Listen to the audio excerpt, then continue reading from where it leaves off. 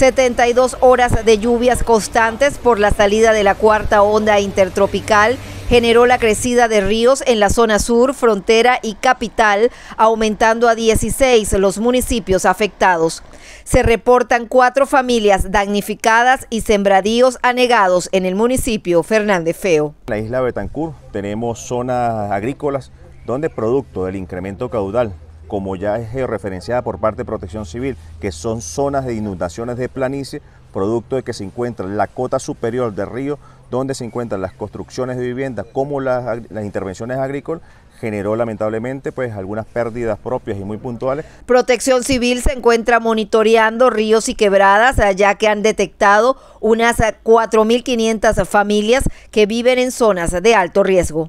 Tenemos monitoreando de igual manera el río Táchira porque se han generado afectaciones en cuanto a viviendas que construyeron en esos lechos de río y han socavado los talud propios de la base de las viviendas. Asimismo, lo que es el río Torbe lo, mantenemos monitoreado debido pues, a la cantidad de, personas que habitan en ese lecho de río y al momento pues se encuentran en riesgo. La entrada de la quinta onda intertropical generó que se decretara alerta amarilla. Las lluvias ya han superado los registros pluviométricos para la época y por ende tenemos suelos saturados o incrementos de caudales súbitos. Allí vamos a estar constantemente monitoreando los afluentes hídricos, el cual pues son transversales de estas importantes comunidades o estos municipios. Las lluvias se mantendrán por las próximas horas. Se esperan más de 40 ondas intertropicales. Para la Nación Radio, Fabiola Niño.